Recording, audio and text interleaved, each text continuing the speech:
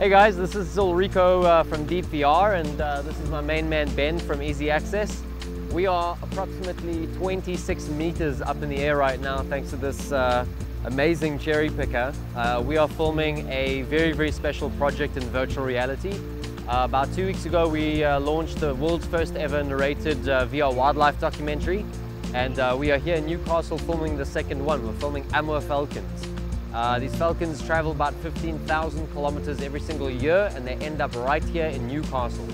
So uh, thanks to uh, Eazi Access, we've actually got easy access to these trees. It would just absolutely not be possible to do without uh, this particular um, cherry picker. So uh, we're super grateful and uh, stand by for an amazing boundary breaking documentary.